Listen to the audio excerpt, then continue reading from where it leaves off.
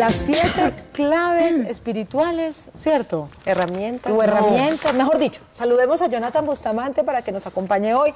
Él es nuestro entrenador mental, coaching como le dicen también, ¿cierto? Así Bienvenido. es. Muchas gracias. Qué bueno que nos acompañes hoy. ¿Qué son estas siete herramientas del amor universal? Compartir esta información está inspirada en las enseñanzas del maestro Gerardo Schmedlin, un maestro colombiano, con la cual eh, cuando estaba compartiendo con, con Claudia, con lo que le iba a preguntar a Lucero y pidiendo permiso para impartir esta información. ¿Por qué? Porque es la información que en mi vida me ha ayudado a mí a, a liberarme de, de muchas situaciones incómodas, de malestar, de sufrimiento, y qué más que poderlas compartir con, con todos los televidentes. La información es para compartir. Y Claro que cuando sí. va a generar bienestar. Seguramente en ese momento hay televidentes que nos están viendo y que están pasando por un momento difícil, por una pérdida, por un duelo. Entonces estas siete herramientas nos van a ayudar para sobrellevar de pronto mejor esa carga. Así es.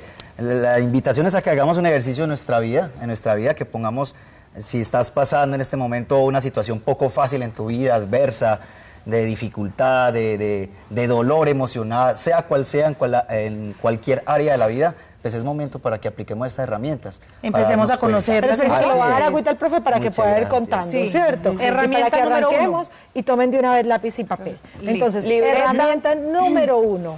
La primera herramienta del amor, y llámese amor como una comprensión absoluta, una comprensión de, de cómo funciona este universo, esta vida, es aceptar.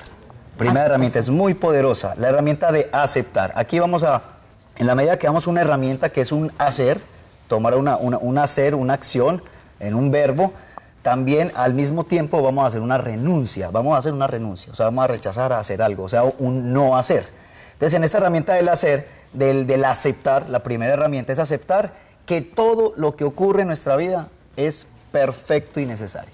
Y esta, como es una información espiritual, vamos a mencionar a Dios, al Padre Dios, eh, en este proceso.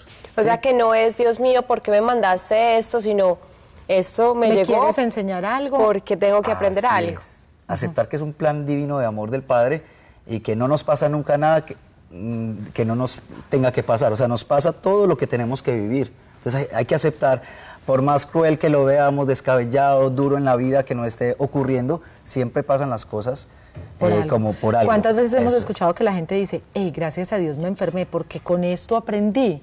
O sea, o tal cosa que me pasó porque con esto aprendí. Entonces esos momentos y esa aceptación pueden llevarnos a un aprendizaje que Ahí- también ahí es lleva- importante. conlleva un aprendizaje. Entonces, al mismo tiempo, cuando vamos a aceptar, entonces piensen en esa situación poco fácil en sus vidas, acepten que esa situación es perfecta y necesaria, que nada es grave, nada es bueno, ni nada es malo en el universo. Todo tiene un orden perfecto. Entonces vamos a renunciar, si vamos a ponernos en la acción de aceptar, vamos a renunciar a querer cambiar. ¿Querer cambiar qué? Lo, ex- lo externo o lo, o lo ajeno a mí. Voy a renunciar a cambiar a las otras personas por lo que hacen o dejan de hacer. No, yo me ocupo de mí. De lo que yo estoy viendo negativo afuera, pues simplemente voy a hacerlo dentro de mí, voy a cambiarlo dentro de mí. Entonces yo renuncio a cambiarte porque empezamos a sufrir. Entonces, primero es aceptación. Aceptar. Segundo, y renunciamos, en renuncia. Y renunciamos, al mismo tiempo en esa herramienta, renunciamos a cambiar lo ajeno, lo externo a mí Esa es una o a sola otras herramienta. personas. Cada herramienta tiene herramienta. un verbo y una renuncia. Así es. O un hacer y un no hacer. Ah, ya, ya, ya, ¿Qué ya. hago? En el primero ¿Y qué no acepto y en el otro de una vez digo, ah, no, yo usted no lo puedo cambiar, me cambio a mí. Gracias Listo. por la aclaración ahí, excelente. perfecto. Vamos con la segunda herramienta. Sí. La segunda herramienta es asumir. Importante. Yo asumo la responsabilidad de mis acciones, de mis pensamientos y emociones. Yo, porque yo soy quien las genero. Empoderarme. Exactamente, me empodero y asumo la responsabilidad que todo lo que me pasa en la vida yo lo genero desde adentro. Y asumo esa responsabilidad. Todo, asumo todo, esas todo, todas las consecuencias que- de, de mis decisiones. Todo, dice por allá, todo. Sí, es una herramienta de amor, poderosa. Es listo. Si me está yendo, si yo soy responsable de mi dicha o mi desdicha, de mi salud o enfermedad, de mi éxito o mi fra- o mi fracaso, porque yo soy quien toma las decisiones en mi vida, por lo cual van a haber unas consecuencias, entonces yo voy a asumir la responsabilidad y voy a renunciar al mismo tiempo a qué? A culpar, a culparme a mí o a otros de eso que me está ocurriendo. Pero eso me parece importante. Pero Uy, yo, te, fundamental. yo te pongo un ejemplo. Eh, una señora que está, no aburrida, está harta con el marido. ¿Sí o no? Entonces, aquí, primero, ¿cómo aceptar? Aceptar. Digamos una mala situación. el tipo es un Borracho, de- borracho, mujeriego, eh, no, irresponsable. Vean, mal hombre, le queda chiquito. ¿Listo? Patas. Sí, eso, no, no, no, es que esa- es una canción de amor, pues. Mentira. Eh, pero bueno, la situación es así, ¿cierto? Entonces, primero, ¿cómo acepta? Y luego, ¿cómo, cómo va a asumir ella la responsabilidad si es que el borracho, el mujeriego y el todo Pero es que la escogió Pero es un momento, No, yo pero quiero no que me la conteste tiene. Jonathan. Mira, todo aquí, Todos tenemos eh, unas situaciones que vivir y estamos generando esas situaciones de atracción. Eh, Para una persona, para una víctima siempre hay un victimario y esas asociaciones son subconscientes para tener un aprendizaje. De manera que yo estoy generando y acepto, acepto a esa persona, a poder aceptar a esa persona que está allá y que yo la generé esa situación atrayéndola a mi vida. Sí, entonces depende de mí, pues tomar la, no decisión de que si lo tomo, lo dejo, o acepto a esa persona tal cual es, o tomo otro rumbo sin sufrir. Entonces esto, como te digo, nos está ayudando es a tener un poquito más de, de, eh, disminuir el impacto del sufrimiento en nuestras vidas. Pero también hacernos responsables de nuestras propias decisiones, porque es que es mucho más fácil decir, es que yo soy muy de malas porque me casé con esta rata de dos patas, pero es que usted la escogió, asuma Sí. también, y en eso estaría también parte de este aprendizaje. Como el Y amor claro, y ciego. como no podemos cambiar, pues... Sí, pero el matrimonio es la cura de la. Si yo no puedo cambiar a, a esa persona alcohólica, pues entonces la acepto. Lo que sí puedo cambiar es la forma en cómo yo me relaciono con esa persona. Claro. Exacto. A- O cómo ahora la estoy interpretando, cómo la estoy Ahora sí. juzgando, cómo la estoy señalando. Tercera. La tercera herramienta del amor es actuar. Importantísimo. Y sobre todo actuar con serenidad. Actuar con se- serenidad frente a todas las situaciones que se nos presentan, incómodas o, o agradables, sea cual sea. Actuar con serenidad. Actuar con serenidad. Y hacer lo máximo que yo pueda, lo máximo que pueda yo, eh, con lo que me corresponde hacer en mi vida. En mi casa, en la universidad, en el colegio, en, en el trabajo, en el deporte. Y no pretender que alguien acción. actúe por uno, sino Muy bien, tomar- entonces voy a renunciar a reaccionar, a que otros decidan lo que yo voy a hacer. Entonces yo voy a, a renunciar a, a- al- voy a renunciar a reaccionar frente a lo que piensen o digan los otros.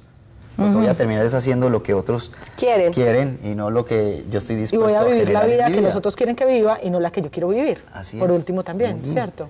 Y Muy bien. aprendiendo. al mismo tiempo renuncio al sufrir por eso, sufrir por eso, Ajá. por otros. Listo, siguiente regla. Vamos por ¿Iríamos por la cuarta? Vamos para la cuarta. Yo soy la que dice los números, ya me di cuenta. Entonces aquí lo Listo. llevo, listo. contando La cuarta abajo. herramienta para que apliquemos ahí, apliquemos ya en esa situación dura de nuestras vidas en estos momentos, es agradecer todo lo que tenemos. Y más aún, que no es fácil, pero se puede entrenar para lograrlo. Agradecer en estos momentos las situaciones, esas situaciones duras, dificultosas, que nos dan, mejor dicho, que nos sacan fuera de nosotros mismos y con la que estamos generando mucho sufrimiento. Porque es que agradecer cuando nos va bien, muy fácil. Pero aquí la fortaleza del amor, la herramienta del amor es, no, agradezca y yo estoy agradeciendo hoy, aquí, ahora, por aquello que, esta situación maluquita que estoy viviendo. Gracias, Padre, porque ahí están, como decías ahorita, los aprendizajes ocultos. Ahí están las enseñanzas, lo que vinimos a aprender. Es que todos vinimos fue O me volviste al más mundo fuerte. a aprender. O me di cuenta de capacidades que ni siquiera sabía que tenía. Ahí es cuando ve uno de qué madera está hecho. Claro. ¿Sí por ahí dice- Pero chévere. Y por ahí dice que cuando uno no aprende esas cosas que la vida le pone en el camino, pues entonces vuelve y se la manda. A ver A si ver si así vuelve y aprende. Y entonces ahí a qué renunciaría. Entonces ahí hay una renuncia. Entonces, yo estoy en la actitud de agradecer todo lo que tengo en las situaciones difíciles. ¿A qué voy a renunciar? A sufrir por esas situaciones difíciles. Sufrir. Renuncio a sufrir. En la otra, renuncio a, Reaccionar, a anterior. reaccionar. Ajá. ¿De renuncio a acuerdo? sufrir. Y esto renuncio no a me va a sufrir hacer por daño. eso. Esto Entonces, no. de esta salgo, todo pasa para mi bien, no hay mal que por bien no venga, lo bueno es lo malo y lo malo de lo bueno es que pasan, aquí Perder voy es a ganar salir un de este, poco. perder es ganar un poco, y ahí nos vamos. Y ahí vamos sumando poder espiritual en nosotros mismos. Vamos para la quinta. No. La- Sí, quinta, no, Vamos mija, para no se me adelante. La quinta herramienta del amor es valorar. Importantísimo. Valorar. Eh, Una de las claves de la prosperidad es valorar. Si no valoramos lo que tenemos, corremos el riesgo De que nos lo quiten para que de aprendamos. que nos los quiten, de Claro. perderlo. Ajá. Filosofía ricarena, que yo digo en mi seminario y se ríen, filosofía ricarena es uno no sabe lo que tiene. hasta Hasta que que lo lo pierde. Filosofía de lo que tiene arena y vas a valorar. Muy poderoso. Si yo no valoro lo que tengo, me lo quitan o voy a interrumpir el proceso para que algo me venga mejor. Sí, entonces estamos, ah, pero es que vea ese carro, me choqué y que no sé cuánto. y te- Me pero al menos tiene carro, y lo choca, ¿Quién pero choca? tiene. Los que tienen carro. Ah, sí, tienen carro, afortunadamente. Sí, Entonces es valorar. Y renunció a. Voy a renunciar a criticar a- y a quejarme por ¡Ay, eso. no! ¡Por favor! No, es que lo tuyo no es crítica, es chisme constructivo. Ah, bueno. Comentarios al margen. criticarme, criticar lo que tengo, lo que no tengo, lo que me falta, más que mirar en lo que, fa- lo que falta, que lo que nos falta es lo que llevamos. Pensemos en lo que llevamos, lo que hemos obtenido. Es una mente abundante, de, de- de una mente próspera. Perfecto. Esa es la sexta herramienta. Ajá. No, No, la quinta. herramienta. Vamos ahora sí a la sexta herramienta. Vamos para la sexta herramienta del amor. La sexta herramienta del amor es respetar. Importantísimo también. respetar que todas las formas todas las personas tenemos diferentes formas de pensar Y están todas muy unidas realmente, porque también está, Sí. a me cambio a mí misma, pero no puedo cambiar a los demás. Así es. Que era otra de las que estábamos viendo. Entonces, respeto. respeto entonces yo voy a renunciar al mismo tiempo en, en interferir a qué le llamamos interferir yo voy a renunciar a darle ayuda al que no la está pidiendo porque la misma vida nos va a cobrar eso o sea como dice dejemos de ser salvadores y metiches. Cuando yo le estoy haciendo la tarea al otro, pues entonces el otro no va a aprender. Y aplíquelo para todo en la vida. Yo puedo ofrecer ayuda, puedo ofrecer una información, puedo ofrecer desde mi experiencia esto, ven, te puedo ayudar. Si la otra persona dice, no, no es. Y si tú se la das sin que te la está pidiendo, normalmente no nos va bien. Sí. Porque estamos interfiriendo en su proceso de aprendizaje y de desarrollo espiritual. Y muchas veces dejamos de crecer nosotros por estar pendientes es del otro, nada más. Entonces eso entorpece enormemente, pues, Entonces, como, como ese proceso de, de desarrollo, ¿no? Yo lo que he notado es que uno eh, muchas veces con muchas falencias personales entonces tiene también como el criterio de llegar a la vida del otro opinar. Sí, Pues, aunque suene a crítica, puede devolviéndome la anterior. O sea, tiene tan poquita vida propia que tiene que vivir la de los otros. Ajá. Entonces empiece a tener un poquito más de vida propia para que deje de meterse en la vida de los demás. Y a primero- a lavar la ropa sucia en Eh, casa. Exacto. Y ahí Eh, entonces a qué tengo que renunciar en esa sexta. a interferir en los procesos de los demás. Yo puedo ofrecer ayuda, como les digo, servicio. Es que uno a veces interfiere hasta en los de uno. La vida es mostrando lo que por ese camino e- no es. Y es uno dele y dele y dele. No, no interfiera.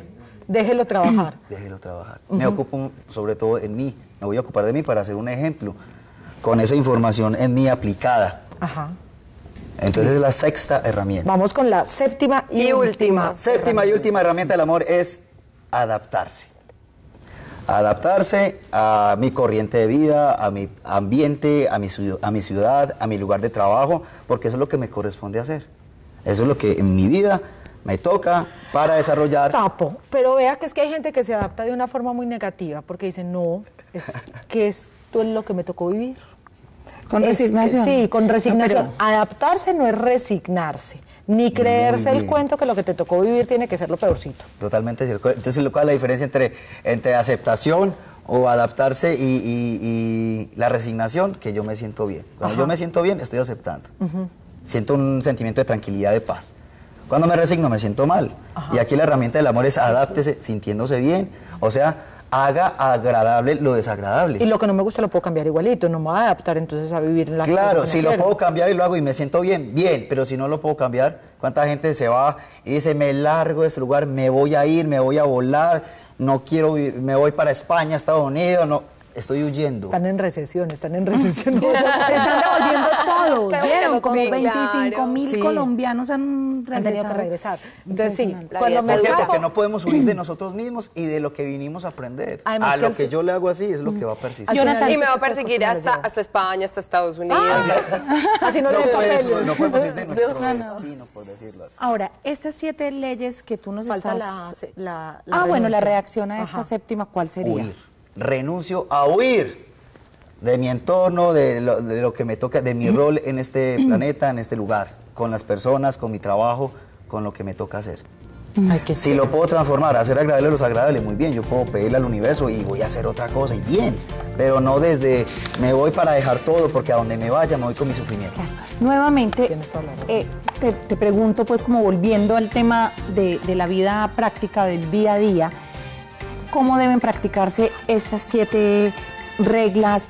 ¿Qué hacer? ¿Qué cambio debo esperar también? Eh, ¿O qué resultados debo esperar después de practicar y de eh, como que introyectar mucho como que esas, estas siete reglas? Muy bien, al sufrimiento, situaciones de sufrimiento y dolor emocional, aplicarle esta información es como cuando dice el antídoto del amor al sufrimiento, siendo conscientes. Yo no puedo cambiar algo si yo no he comprendido algo. Entonces, una forma es como la estamos haciendo es tenga las siete herramientas en ese momento duro de tu vida y empieza a aplicar una, un paso a la vez o una herramienta a la vez. Se puede hacer uno por día o todas al mismo tiempo si tengo la capacidad de, de ir asimilando. A ver, y vamos entrenando nuestra mente con eso. No es una vez, es de varias veces, varias veces, hasta crear una nueva realidad. Se vuelve hábito. Y nos se vuelve un hábito y nos sentimos en un grado de mayor paz, de imperturbabilidad, Ustedes amor, no- felicidad. uno no preocuparse por tantas bobadas, que es que, ay, que es que me salió una cana, es que, ay, mi esposo me dejó. Pues no es una bobada, pero también se puede superar. Dependiendo del esposo. sí. Ahí sí, filosofía ricarena. Ay, me gustó mucho. Jonathan, muchas gracias por acompañarnos. A ustedes por permitirme eh, eh, enseñar esta información Muy que ha transformado mi vida y la de muchas personas. Muchas gracias. Bueno.